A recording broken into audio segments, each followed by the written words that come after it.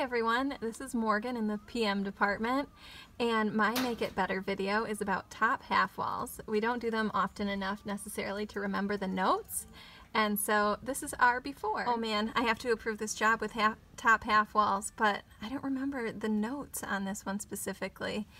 Hey Nicole. Yeah. Do you remember how to, what the notes are for top half walls? Um,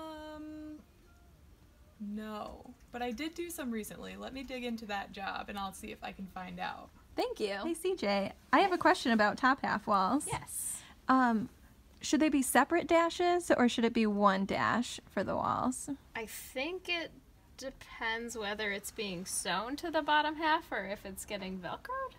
Okay. I think. Okay, cool. Thank you. You're welcome. All right, so after doing some research and figuring out that a lot of us don't really remember the uh, fabrication notes for top half wall, I have created this handy dandy chart right here. And it starts out by saying, is it velcroing to the bottom half wall? Yes or no. Then it goes through the process of if you need a through cut and a separate dash, or if it is one dash and it needs a PLA to go to engineering. What did we do? Made it better!